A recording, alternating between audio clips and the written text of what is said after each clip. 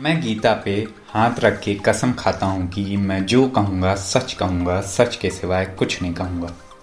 आपको पता है कि इसी तरह के हमारे कोर्स में गीता, कुरान या बाइबल और बाकी ग्रंथों को रखा जाता है। और आई विटनेस के मतलब चश्मतीत गवाह के धर्म के हिसाब से उसे कसम खिलाई जाती है। पर आजकल कोई भी इस गीता या कुरान पर हाथ रखकर कसम नहीं खाता है। जो फ़िल्मों में दिखाया जाता है, आजकल प्रैक्टिस नहीं किया जाता है। ये यूनिक प्रैक्टिस आखिर इंडिया में स्टार्ट कैसे हुई, इसकी हिस्ट्री क्या थी और किस रीजन की वजह से प्रैक्टिस को ख़त्म कर दिया गया।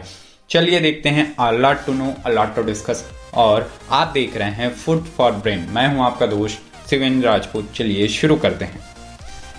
भारत में मुगलों के शासन के वक्त रिलीजियस बुक्स पर, धार्मिक ग्रंथों पर हाथ रख के कसम खाने की प्रथा शुरू की गई थी। क्योंकि उस टाइम पे लोगों का अपने धर्म के प्रति काफ़ी झुकाव था और ये माना जाता था कि कोई भी भारतीय अपने धार्मिक ग्रंथ पे हाथ रखकर कसम खा रहा है तो वह झूठ नहीं बोल सकता। यही सेम फंडा, यही सेम लॉजिक ब्रिटिशर्स भी अडॉप्ट कर लेते हैं और इसी चीज़ के लिए भी वो वही करते हैं जो हर चीज़ के लिए करते हैं, जो जानते हैं कि ब्रिटिशर्स लॉ बना देते हैं हर चीज़ के लिए। तो उन्होंने इसके लिए भी लॉ बनाया। इंडियन ओथ एक्ट 1873 जो हर इंडियन कोर्ट में यूनिफॉर्मली फॉलो होने लगा। इनफैक्ट इंडिपेंडेंस के कई साल भी इस साल या इस लॉ को फॉलो किया जाता था। 1950 से 1960 के दशक तक हिंदू गीता पर हाथ रखकर और मुस्लिम कुरान पर हाथ रखकर कस्में खाते थे।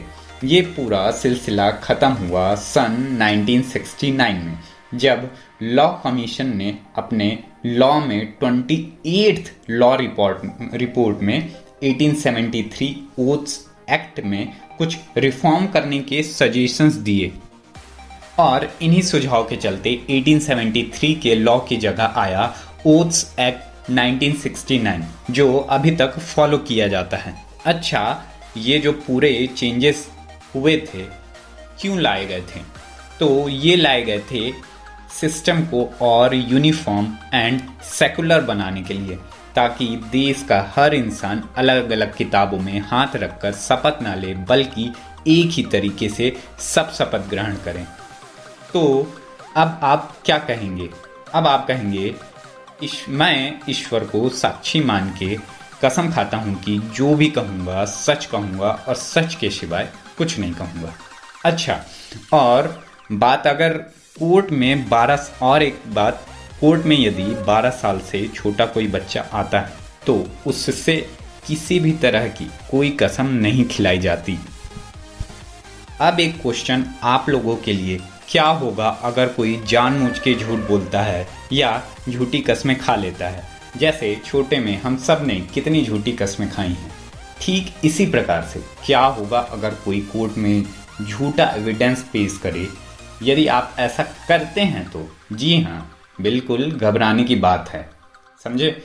तो ये बता दूँ कि ये एक पनिशेबल ऑफेंस है, जिसे आईपीसी के सेक्शन 193 में है, जो ये कहता है कि वो इंसान जो झूठ बोल रहा है, या झूठा कसम खा रहा है, या झूठा एविडेंस दे रहा है कोर्ट के वर्डिक्ट को बदलने के लिए तो उसे सात साल की सजा सुनाई जा सकती है, और जेल भी हो सकती है बकायदा फाइन के साथ। तो ये थी आज की वीडियो जिसमें हमने देखा कि हम गीता या कुरान की कस्में क्यों खाते हैं।